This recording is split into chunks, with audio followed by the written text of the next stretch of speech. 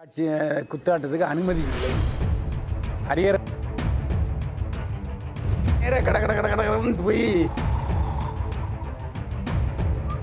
ஏதோ கடத்தல்கார தலைவியை போலீஸ்காரங்க தள்ளிட்டு போன தள்ளிட்டு ரம்யா ரம்பாவுடைய புருஷன் நிகழ்ச்சி ஏற்பாட்டாளர் இந்திரனும் சொன்னார்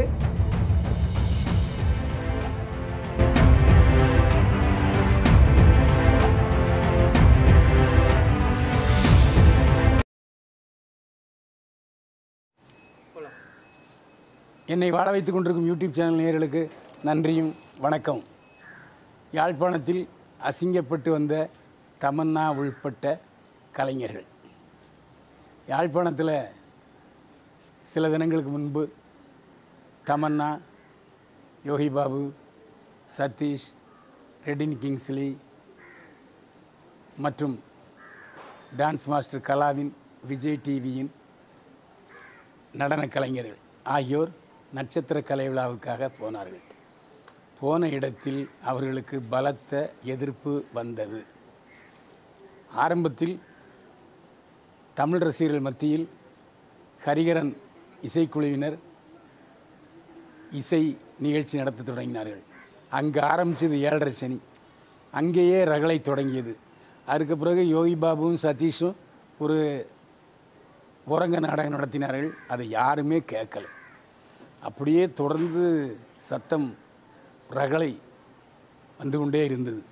அதுக்கப்புறம் போலீஸ் அதிகாரி போய் மைக்கை பிடிச்சிக்கிட்டு பேசினார். அந்த சிங்கள போலீஸ் அதிகாரியை தமிழ் ரசிகர்களுக்கு பிடிக்கவில்லை. அதற்கு பிறகு கலா கெஞ்சி கேட்டுக்கொள்கிறேன் என்றார். யாரும் சத்தம் போடுவதை நிறுத்தவில்லை. பிறகு தமன்னா அவசர அவசரமாக வந்து நடந்து கையாட்டி கொண்டு போனார். அதற்கு பிறகு பலத்த ரகளை போலீஸ் தடியடி மூணு பேர் மயக்கம் போட்டு விழுந்து விட்டார்கள். ஆஸ்பத்திரியில் அனுமதிக்கப்பட்டார்கள். போலீஸார் ஒரு நான்கு பேரை கைது செய்து போனார்கள். திடீரென தமன்னாவுடைய நடனம் நடந்தது. யாருமே கவனிக்கவில்லை. சரி இந்த ரகளைக்கெல்லாம் காரணம் என்ன என்று கேட்டால் வேறு யாரும் கிடையாது. ரம்பாவுடைய கணவர் இந்திரகுமாரன் தான். இந்த இந்திரகுமாரன் யாருன்னா இலங்கையில் பிறந்து இதுக்கும் பலத்த போர் நடந்த பொழுது இலங்கையை விட்டு ஓடிவிட்டார். ஓடி கனடாவில் ஐ அகதியாக போனவர். அங்கே உழைத்து தன்னம்பிக்கையால் விடாமுயற்சியால் பெரிய கோடீஸ்வர தொழிலதிபரானார் அதற்கு பிறகு அவர் நடிகை ரம்பாவை திருமணம் செய்து கொண்டார். நடிகை ரம்பாவுடன் திருமணம் செய்த பிறகு சில காலம் பிரிந்து வாழ்ந்தார்.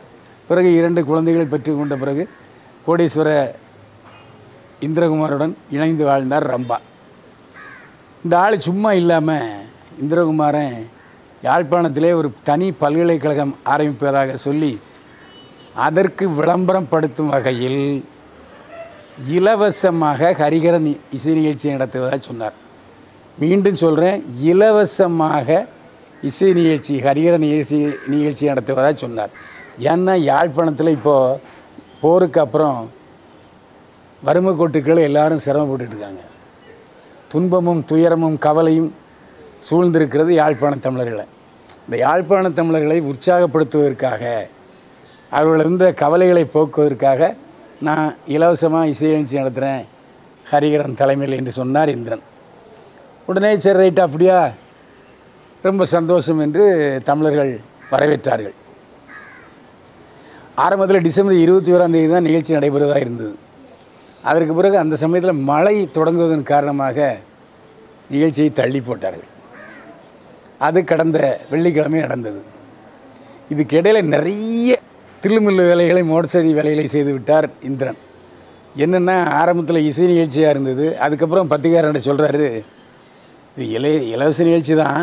ஆனால் என்னென்னா சில விஐபிக்கள் பணக்காரர்கள் நாங்கள் அமர்ந்து பார்க்க வேண்டும் வசதியாக பார்க்க வேண்டும் சந்தோஷமாக பார்க்கணும். அதனால் நீங்கள் காசு கொடுத்தா கூட பரவாயில்ல நாங்கள் காசு தந்துடுறோம் என்று சொன்னதன் காரணமாக எவ்வளவு? முப்பதாயிரம் ரூபா ஏழாயிரம் ரூபா மூவாயிரம் ரூபான்னு டிக்கெட் வச்சார். முப்பதாயிரம் டிக்கெட்டுக்கும் நிறைய பேர் வந்து விட்டார்கள். இதில் முக்கியமான விஷயம் என்னென்னா தமன்னா படம் பிடிப்பு ப சோலோ செல்ஃப் அடி எடுப்பதற்கு முப்பதாயிரம் ரூபா யோகி பாபுவோட படம் எடுப்பதற்கு முப்பதாயிரம் ரூபா என்று டிக்கெட் போட்டுட்டார். இந்த டிக்கெட் போட்ட விஷயம் யாழ்ப்பாண தமிழர்களுக்கு பிடிக்கவில்லை. இதில் முக்கியமான விஷயம்னா யூடியூபர்கள் மீடியாக்காரர்கள் நீங்கள் தனியாக பேட்டி எடுக்கணும் பைட் எடுக்கணும் அதுக்கும் முப்பதாயிரம் கொடுக்குன்ட்டார் அங்கே தான் வில்லங்கம் விபரீதமானது. ஏடா நாங்களே விளம்பரப்படுத்துகிறோம் உங்கள் நிகழ்ச்சியை. எங்கிட்டே முப்பது ரூபா கே- கேட்டால் என்ன அர்த்தம் என்று அதற்கு எதிர்ப்பு யாழ்ப்பாண தமிழ் பிரஸ் போய் எதிர்ப்பு தெரிவித்தது. எங்கள் யாழ்ப்பாணத்தில் கூத்தாட்டத்துக்கு குத்தாட்டத்துக்கு அனுமதி இல்லை. ஹரிஹரன் வேணால் இசை நிகழ்ச்சி நடத்தட்டும். ஆனால் பணம் வசூலிப்பது என்றால் யாழ்ப்பாணத்தில் அனுமதிக்க மாட்டோம். அதில் முக்கியமான விஷயம்னா இவங்க நிகழ்ச்சி நடத்தின மைதானத்தில் நாங்கள் விட மாட்டோம். இசை கச்சேரி இலவசமாக நடத்துகிறதா இருந்தால் நடத்து பணம் கொடுத்து நடத்துகிறதா இருந்தால் நாங்கள் நடத்த விட மாட்டோம். எந்த ஒரு நிகழ்ச்சி நடந்தாலும் மீடியாக்காரர்கள் பத்திரிகையாளருடைய ஆதரவு இருந்தால் மட்டுமே வெற்றி பெறும். பத்திரிகையாளர் ஆதரவு இல்லாமல் வெற்றி பெற முடியாது. இதனால் ஆரம்பத்திலே இந்த நிகழ்ச்சி வந்து பத்திரிகையோட எதிர்ப்பை சம்பாதித்து விட்டது. தமிழ் ரசிகர்களுக்கு எப்போவுமே ஏழாம் பொருத்தம். பிடிக்கவே பிடிக்காது. இதில் இவங்க இசை நிகழ்ச்சி நடத்துகிறவர்கள் புத்திசாலித்தனம் என்ன பண்ணால் அங்கே உள்ள இ- இலங்கை மந்திரி சபையில் யாராவது அமைச்சர் ஒருத்தர் கூட்டிருந்தாங்கன்னா போதிய பாதுகாப்பு இருந்திருக்கும். இவங்க புத்திசாலித்தனம் அதையும் பண்ணலை. அமைச்சர் வந்தால் தானே போலீஸ் பாதுகாப்பு தருவாங்க. இதில் என்னென்னா கிட்டத்தட்ட எழுபத்தையாயிரம் பேர் இந்த இடத்துல கூடியிருந்தாங்க. ஆனால் எழுபத்தெட்டாயிரம் பேர் கூடியிருந்த இடத்துல முக்கியமான விஷயம் என்னென்னா முப்பதாயிரம் பேர் தான் அந்த இடத்துல கூடியிருக்க முடியும்.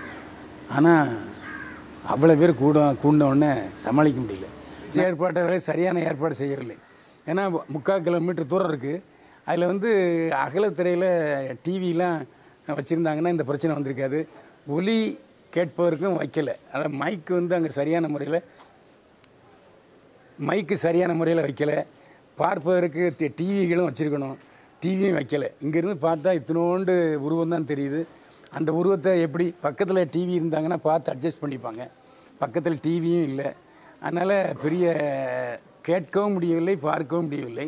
அது இல்லாமல் என்னாச்சுன்னா கூட்டம் நிறைய வந்தவுடனே அங்கே அடிதடியாக ஏற்பட்டு போச்சு. அந்த இலவச டிக்கெட்டுகளும் கொடுத்துருந்தாங்க. இலவசமாக பார்க்க வந்துள்ள எல்லோரும் வேலையை தாண்டி உடப்பை முடிச்சுக்கிட்டு உள்ளே வந்துட்டாங்க. பிரச்சனை அங்கே தான் ஆரம்பிச்சது. போலீஸார் அங்கே அடிதடி ஆரம்பிச்சிட்டாங்க. பிரச்சனை ஆரம்பிச்சது. இதனால் வந்து அது மட்டும் இல்லாமல் நிகழ்ச்சி ஏற்பாட்டாளர்கள் இந்த எழுபதாயிரம் பேரை அவங்க நினைக்கல. எழுபதாயிரம் பேருக்கு பாதுகாப்பு கொடுக்க வேண்டும் என்ற ஏற்பாடுகளையும் செய்யவில்லை. வந்தது ஒரு பதினஞ்சு போலீஸ்காரங்க இருக்கும். போலீஸ்காரர்களையும் வந்தவர்களை அடித்து விட்டார்கள். பாதி பேர் வந்தவர்களில் போதையிலே இருந்தாங்க. அவங்களுக்கு இந்த நிகழ்ச்சி நடத்துகிறதே பிடிக்கலைங்கிறது தான் முக்கியமான காரணம்.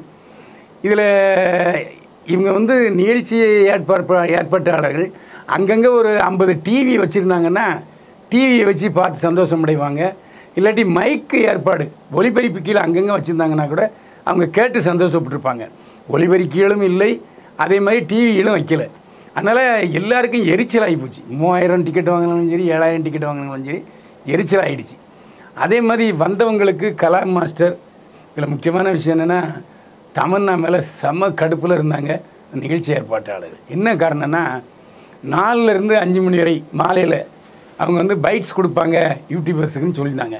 ஆனால் கடைசி நேரத்தில் அவங்கள்ட்ட யூடியூபர்ஸும் முப்பதாயிரரூவா கொடுத்தா தான் நாங்கள் ஒத்துக்கிடுவோம் அப்படின்னு சொன்னாங்க. அது கோபம்.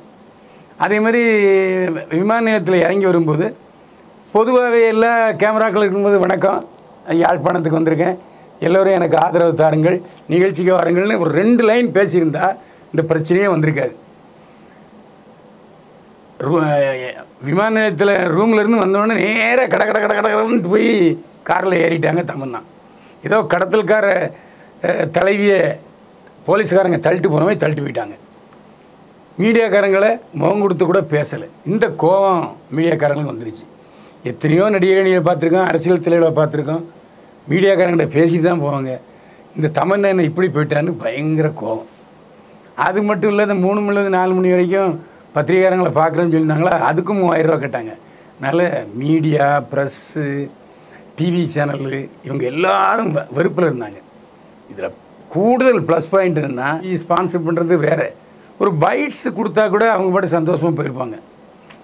அது இல்லாமல் இதில் முக்கியமான விஷயம் என்னென்னா நிகழ்ச்சி நடத்தும்போது முதல்ல இலவசம்னு சொல்லிட்டு அதுக்கப்புறம் பணம் முப்பதாயிரரூவா ஏழாயிரரூவா மூவாயிரரூவாங்கும்போது தமிழ்நாட்டில் சினிமா கலைஞர்கள் வருவதற்கு விரு விருப்பப்படவில்லை.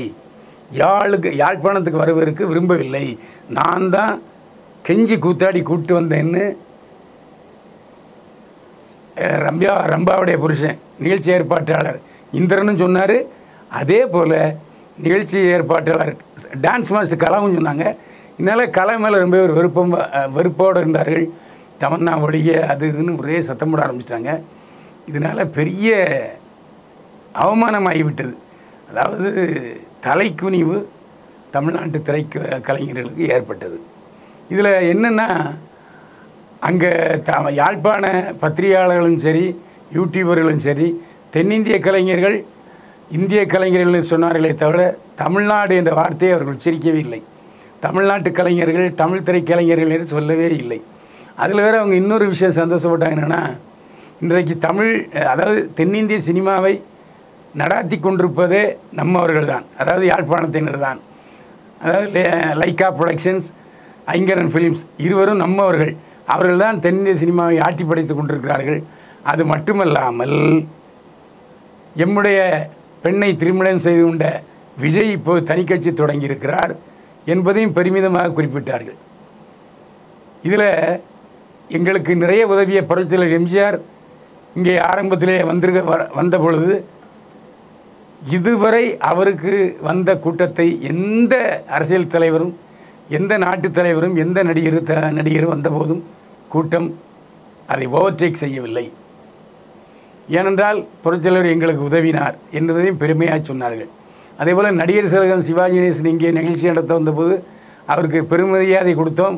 அவரும் எங்கள் யாழ்ப்பாணத்தம் மீது நேசித்தார் என்று சொன்னார்கள். இதில் கூடுதல் தகவல் என்னென்னா பத்து நாட்களுக்கு முன்பு இதே அரங்கத்தில் சந்தோஷ் நாராயணனுடைய இசை கச்சேரி நடந்திருக்கு. அந்த இசை கச்சேரி முழுக்க முழுக்க இலவச கச்சேரி. அதில் குத்தாட்டெல்லாம் கிடையாது. ஒளிபெருக்கி பிரமாதமான ஏற்பாடு அங்கங்கே டிவி வச்சுட்டாங்க. இன்னும் சொல்லப்போனால் இந்த தமன்னா நிகழ்ச்சிக்கு வந்ததை விட கூடுதலாக மக்கள் வந்திருந்தார்கள். அமைதியாக அந்த இசை நிகழ்ச்சி நடந்தது. ஆர்ப்பரிப்புடன் அந்த நிகழ்ச்சியை பார்த்து சந்தோஷமடைந்தார்கள் யாழ்ப்பாண தமிழர்கள். ஆனால் இங்கே தமிழன தமன்னா மற்றும் டான்ஸ் மாஸ்டர் கலா நிகழ்ச்சிக்கு ஏன் இந்த ஏற்பு என்பது புரியாத புதிராக இருந்தது. காரணம் என்னென்னா ஒலிபெருக்கி சரியில்லை ஒளி சரியில்லை நடந்து கொண்ட முறை சரியில்லை. இதற்கெல்லாம் காரணம் வழிநடத்திய இந்திரன் தான். அதாவது இந்திரன் அவருடைய கலை நிகழ்ச்சிக்கு முப்பதாயிரம் ரூபா ஏழாயிரம் ரூபா மூவாயிரம் ரூபா வசூல் பண்ணால் அவர் இங்கே தொடங்குகிற பல்கலைக்கழகத்தை எப்படி இலவசமாக மாணவர்களுக்கு போதனை சொல்லுவார் என்ற கேள்வியை அவர்கள் ஆழமாக எழுப்பினார்கள். அந்த கேள்விக்கு பதில் சொல்ல முடியாமல் போயிட்டு யாழ்ப்பாண தமிழர்கள் இப்போது கஷ்டப்பட்டிருக்க சூழ்நிலையில் நாங்கள் குத்தாட்டத்தை காசு கொடுத்து பார்க்கணுமா? கேட்கிறார்கள் யாழ்ப்பாண தமிழர்கள். இதற்கு நம்மால் பதில் சொல்ல முடியாமல் போயிட்டு இந்த நிகழ்ச்சியை இன்னொரு தடவை நீங்கள் இந்த பதிவை கேட்டிங்கன்னா யார் தவறு என்பது உங்களுக்கு புரியும். இனிமேலாவது யாழ்ப்பாணத்துக்கு போகிற கலைஞர்கள் குத்தாட்டத்தோட போகாதீங்க. இசை நிகழ்ச்சி நடத்துங்கள் நாடகம் நடத்துங்கள். இந்த அது அவர்களுக்கு பிடிக்கவில்லை. நம்முடைய கலாச்சாரம் வேறு யாழ்ப்பாணத்து கலாச்சாரம் வேறு. யாழ்ப்பாணத்தினர் இன்னமும் தூய தமிழில் பேசிக் கொண்டிருக்கிறார்கள். எனவே அவர்கள் தமிழ் கலாச்சாரத்தை பின்பற்றுகிற காரணத்தினால் இந்த குத்தாட்டம் அங்கே எடுபடலை. இனிமேலாவது யாழ்ப்பாணத்துக்கு போகும்போது தமிழ் உணர்வோடும் இங்கிருந்து போகிற கலைஞர்கள் செல்ல வேண்டும் நிகழ்ச்சி நடத்த வேண்டும் என்பதுதான் நம்முடைய கோரிக்கை. நேர்களை இதுபோன்ற யதார்த்தமான தகவல்கள் எந்தவித உள்நோக்கமும் இல்லாமல் நான் சொல்லி கொண்டிருக்கிறேன். தொடர்ந்து இந்த சேனலுக்கு ஆதரவு தாங்க. மீண்டும் சந்திப்போம். வாழ்க வளமுடன்.